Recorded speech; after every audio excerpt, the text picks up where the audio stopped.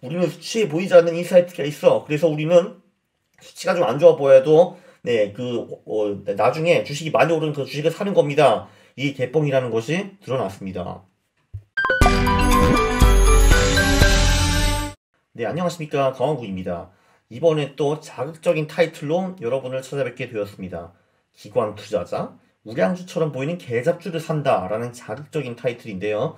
네, 제가 주장하는 얘기가 아니라 그 밑에 있는 그 에델렌, 인세, 카들레츠 이 세 분이 쓰신 논문에서 나오는 얘기를 저는 그냥 요약만 하는 겁니다. 물론 요약을 하면서 네, 저도 별로 기관 투자자들 이렇게 썩 좋아하진 않기 때문에 또 툭툭 이상한 말을 던지겠죠. 기대하십시오. 네, 기관 투자자들이 이제 초과 수익을 벌어주는 주식을 사는가 이게 굉장히 중요한 테마입니다. 왜냐하면은 저는 지금 여러분들께 이런 주식이 주식이 좋다라는 논문들을 지금 엄청 소개를 해드리고 있잖아요. 이 논문들은 전부 다 공짜로 다운 받을 수가 있습니다. 그러니까 제가 이렇게 소개를 하고 있잖아요.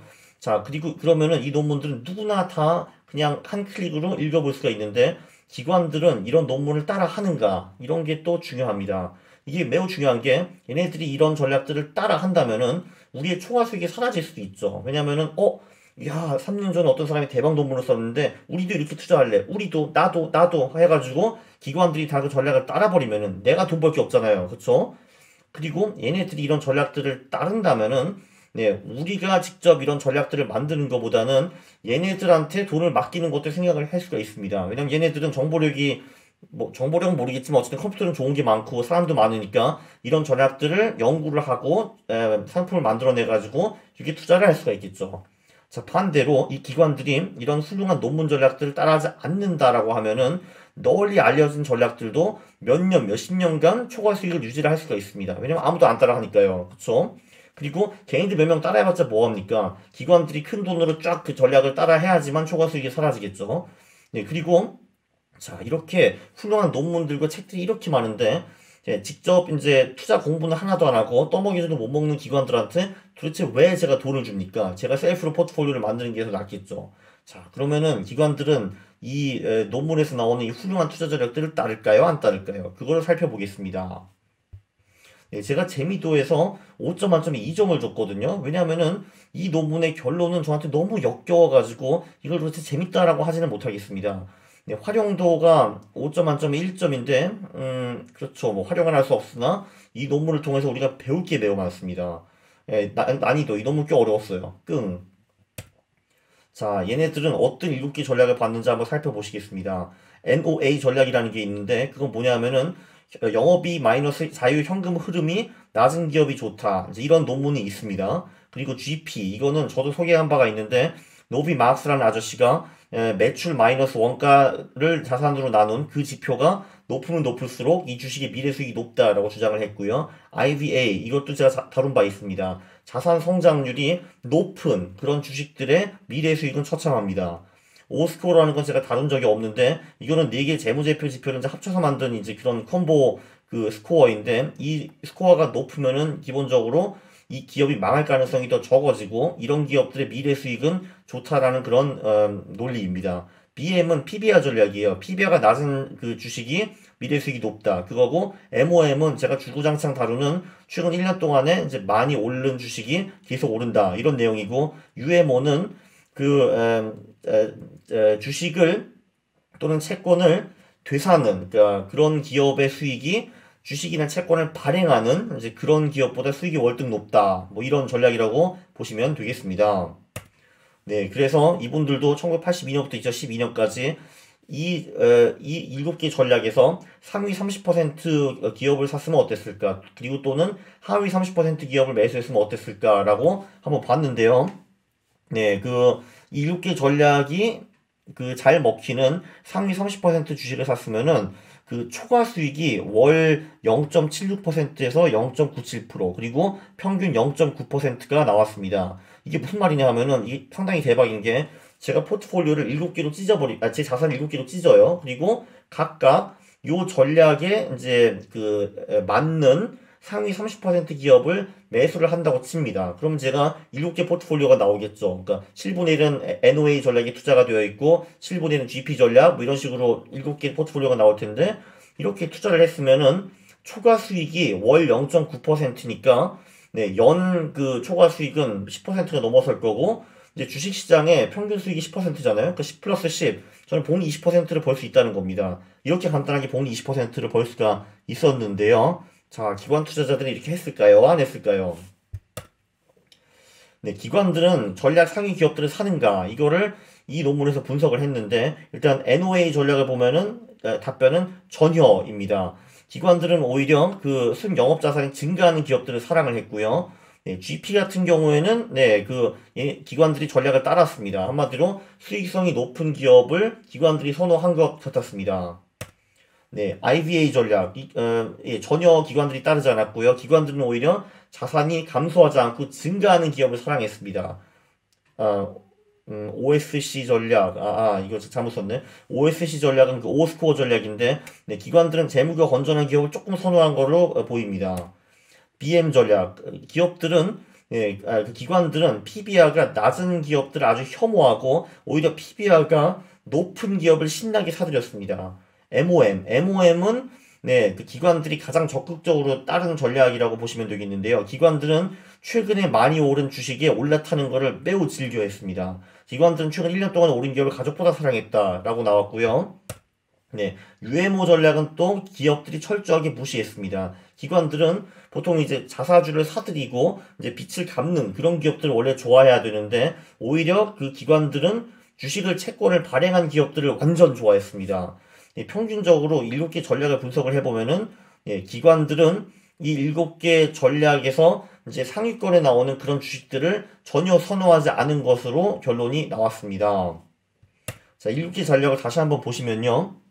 네, 얘네들이 4개 전략을 깡그리 무시했죠. NOA, IVA, BM, UMO를 무시를 했는데 이 무시한 내용이 전부 다 공통점이 있습니다. 자, NOA 전략은 왜 무시를 했는가? NOA 전략은 설비 투자를 별로 안 하는 기업을 머리 사들여야 돼요. 그래야지 그런 기업들이 미래 수익이 좋은데 네, 그 기관들은 오히려 이런 기업들을 선호했습니다. 야, 왜냐면은 막 기업이 막 설비 투자를 하고 땅을 사고 기계를 사고 그러면은 뚝딱 투자 만들면 미래에 갑자기 수익이 오를 것 같잖아. 성장할 것 같아. 뭐 이런 식으로 산 것 같고요. IBA도 비슷한 맥락입니다. 와, 저 기업이 막 자산이 팍팍 어, 어, 올라가네. 야, 그런 거 자산을 활용해가지고 돈을 미래에 많이 벌겠지. 성장할 거야. 뭐 이런 거. PBR. 예, 어, PBR가 낮네. 그러면 저 기업 되게 구려. 나 안 사. 어? 저 기업이 되게 화려해 보이네. PBR은 높은데, 에이, 그래도 사자. 이런 식으로 가는 거고요. UMO.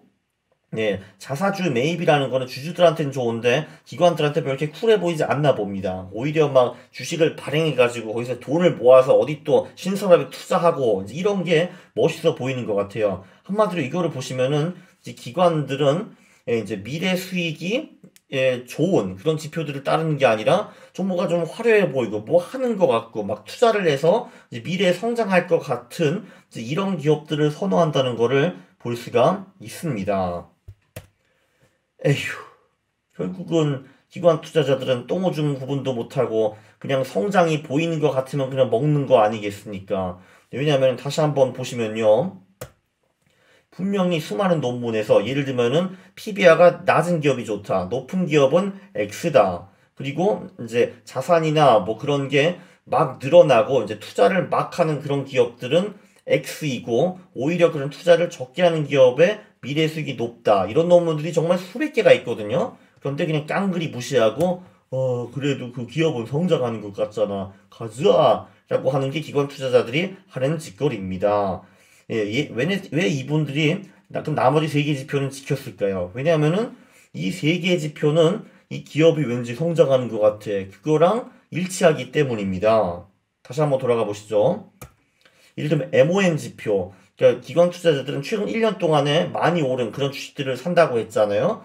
네, 그 비슷한 맥락입니다. 와, 저 기업 뭐가 있구나. 뭐가 성장하고 미래가 밝은 것 같아. 들어가자. 뭐 이런 거죠.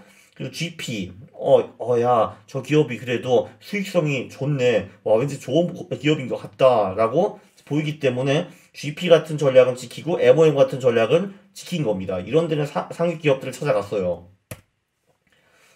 그리고 이제 이거는 심지어 미국 기관들입니다. 기본적으로 미국은 개인도 그렇고 기관도 그렇고 네, 보통 한국보다 네, 투자 레벨이 훨씬 더 높습니다. 그런데 이런 애들도 좀 이러고 있으니까 아, 한국 기관 수준들은 어떨지 네, 상상을 네, 별로 하고 싶지도 않네요. 에휴. 물론 기관은 변명이 있습니다. 야, 누가 수치만 보고 투자를 하냐, 이것들아. 우리는 정보가 있어, 정보. 우리는 니네들이 모르는 그런 insight가 있는 거야. 그래서, 야, 우리가 PBR가 높은 주식을 사면은 그만큼 이유가 있는겨. 예, 얘네들은 PBR가 좀 높을지 모르지만, 얘네들은 미래 성장을 한다니까.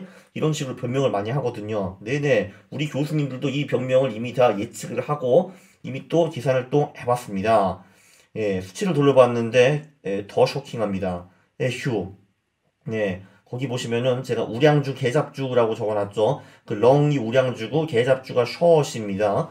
네, 그리고 제가 바이에 동그라미를 쳐놓으신 거를 볼 수가 있어요. 이거는 이제 기관들이 들어가는 이제 그런 주식들입니다. 네, 예를 들면 NOA 전략을 보시죠. 거기 보면은 바이의 렁0.23% 이것은 무엇이냐 하면은 기관들이 어쩌다가 NOA 전략에 부합하는 상위 30% 기업을 샀다 그러면은 초과 수익이 0.23% 납니다. 한마디로 그 에, 음, 기관이 NOA 우량주를 샀을 때는 오히려 시장보다 더 많이 벌었어요. Very good. 그러나 우리는 알다시피 기관들이 보통 NOA 계잡주들을 선택하는 것을 에, 알고 있죠. 자, 기, 기관들이 선택한 NOA 계잡주들은 초과 수익이 마이너스 0.75%. 예, 아니냐 다를까. 기관이 계잡주를 사도 그래도 그놈은 계속 계잡주입니다. 이게 이제 GP, IVA, OSC 전략에도 크게 변하지 않은 거를 볼 수가 있어요. 한마디로 예를 들면은 기관들은 IVA 전략에서도 계잡주를 선호하거든요. 우량주보다. 근데 기관들이 그 산 IVA 개잡주들의 그 초과 수익은 마이너스 0.72% 이렇게 나왔습니다. 에휴. 나머지 세개 전략도 대동소이에요. 제가 좋아하는 PBR 전략. 기, 어, 관들은 대부분 저 PBR 전략을 주식들을 혐오하고 고 PBR 주식들을 좋아하잖아요. 그래서 그 고 PBR 주식을 사면은 네 총괄 수익이 마이너스 0.74%로 나옵니다. 그러니까 기관의 변명 우리는 수치에 보이지 않는 insight가 있어. 그래서 우리는 수치가 좀 안 좋아 보여도 네 그 어, 나중에 주식이 많이 오른 그 주식을 사는 겁니다. 이 개뻥이라는 것이 드러났습니다. 요약을 하면요. 네, 기관 투자자들은 투자 논문을 읽어, 읽지 않거나 아니면 읽어도 따라하지 않는다라는 것이 밝혀졌습니다. 얘네들은요, 그 미래 수익이 좋은 주식을 사는 게 아니라 어, 지금 당장 뭔가 좀 투자를 하고 성장할 것 같은 이제 그런 주식들을 선호를 합니다. 네, 그리고 그, 그들은 주장을 하죠. 아, 수치는 음, 개잡주지만 그래도 원래 우리가 사니까 우량주인 거야 라고 주장을 하는데 네, 기관들이 사는 계잡주는 계속 계잡주 같은 수익을 냅니다. 자, 그럼 결론이 이거죠. 도대체 기관한테 왜 돈을 맡깁니까? 얘를 공부도 안 하는 것 같고, 그리고 미래 수익이 좋은 그런 주식들을 고르는 것 같지도 않고, 그냥, 어, 좋아 보이네라는 식으로 그냥 계잡주를 계속 사들이고 있는데, 왜 얘네들한테 돈을 주고 셀프 투자를 안 하는 겁니까? 이게 얘네들이 보면은 정보가 사실 별로 없고, 네, 우리한테 득되는 일을 별로 하지 않는다라는 걸 볼 수가 있어요. 그래서 셀프 투자를 하십시오. 남에게 돈을 맡기는 거는 절대로 안 되는 겁니다. 오늘의 유일한 good news가 하나 있죠. 예, 제가 지금 예, 수많은 투자 전략을 이제 떠벌리고 있습니다. 물론 논문과 책이 나와가지고 그냥 비밀 전략들은 아니죠. 어쨌든 떠벌리고 있고 제가 만천하에 이 전략을 알린다 하더라도 아, 이거를 따라할 놈이 없네요. 기관들은 저를 개무시하겠죠. 그리고 기관들은 저를 개무시하는데 개인들은 저를 따라하겠습니까? 그렇죠. 그래서 제가 이런 식으로 이렇게 전략을 떠버리는 이유가 다 있습니다. 이렇게 해도 내 총알 수익은 절대 줄지 않을 거야 라는 그런 굳은 믿음이 있거든요. 네. 그래서 그 그래서 이제 뭐 90년 전에 만든 베인저민 그레이엄의 NCAV 전략 이런 게 아직도 통하는 겁니다. 네, 기관들을 무서워하지 마세요. 기관들은 아무리 힙한 전략이 나와도 그 전략을 따라할 가능성은 별로 없습니다. 안심하십시오. 제 유튜브를 보시고 전략을 직접 만드셔가지고 신나게 투자를 하셔서 부자가 되시면 됩니다. 파이팅! 예! Yeah.